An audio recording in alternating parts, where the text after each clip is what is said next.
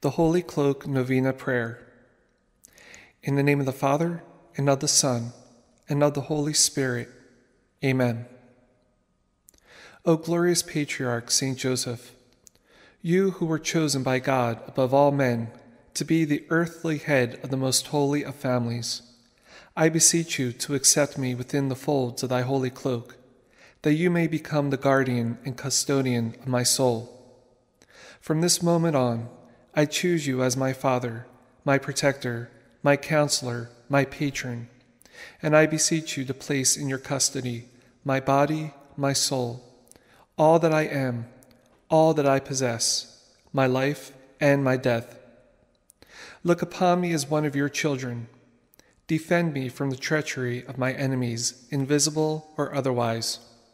Assist me at all times in all my necessities Console me in the bitterness of my life, and especially at the hour of my death. Say but one word for me to the divine Redeemer, whom you were deemed worthy to hold in your arms, and to the Blessed Virgin Mary, your most chaste spouse. Request for me those blessings which will lead me to salvation. Include me among those who are most dear to you, and I shall set forth to prove myself worthy of your special patronage. Amen.